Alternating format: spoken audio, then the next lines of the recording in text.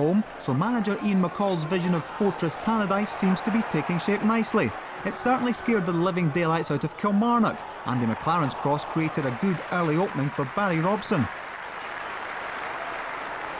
The home fans didn't have to wait long for a goal, mind. Just 11 minutes had elapsed when Robson supplied an ideal cross for Jim McIntyre. The United striker was to have a field day against some less than inspired defending. Killie really were all over the place in the opening 45, and whatever way United chose to attack brought its reward. They went for the aerial route for goal number two, and this time it was Charlie Miller in the right place at the right time to double the home side's lead. Andy McLaren's head flick setting up Miller's fourth goal of the season. That really seemed to knock the stuffing out of Kilmarnock, and sensing that his prey was particularly vulnerable, Jim McIntyre went in for the kill. His second goal, like his first, was set up by the excellent Barry Robson.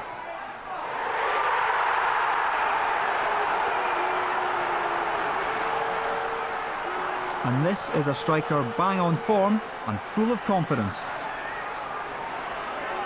Now here's a rarity, a tactical double substitution inside the first half hour.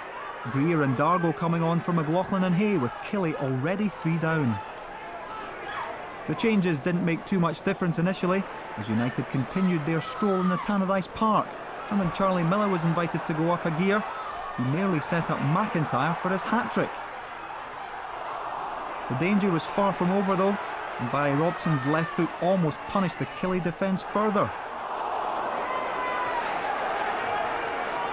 And Robson's contribution was far from over. His persistence and willingness to fight helped set up goal number four. Derek McInnes played in Jim McIntyre and his hat-trick was never in doubt. His three well-taken goals took him to 10 for the season and had Kilmarnock facing humiliation.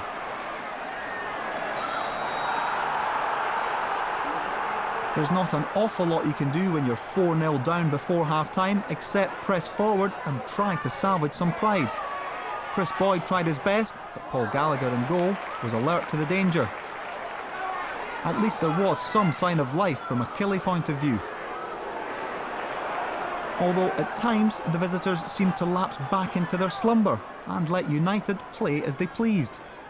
A state of affairs which almost led to a fifth for Charlie Miller as the interval approached. You could sense Jim Jeffries winding himself up for some harsh half-time words. Killie did reappear with a much greater sense of purpose, but their frustration didn't diminish and Craig Dargo's effort was disallowed for offside. And boy did he not like that decision. Not much wrong with Eric Skora's delivery or Gary McDonald's knockdown, and Dargall was very unfortunate to be penalised. Kilmarnock, to their credit, kept plugging away in search of a goal, and their second half display did probably deserve one. It was Danny Invincible who claimed it, to at least give the visiting fans a reason to smile with just under half an hour left. Kris Boyd's assist set up Invincible's fourth strike in his last three games. And that was pretty much that. The game petered out fairly quietly, except of course for a well-deserved ovation for the home hat-trick hero. We started the game very well. Uh, it was I don't think I've ever been in charge of a team that's played that badly. In fact, uh, didn't turn up the first half. First 20 minutes, in fact the first couple of minutes we lost simple headers, balls played in the box. And uh, from there we never really recovered. I think they scored, what, four goals in 20 minutes spell. Uh, they hit us with everything. Uh, we didn't. Uh, we, we we just kept capitulated with the thing, and uh, you know we gave them a, a right going over at half time. Um, and the second half, it was all about trying to make sure that we didn't have the same sort of performance. But we're coming at half time, and I said what the second half proved to me was that you cheated us at, first, at uh, the first half.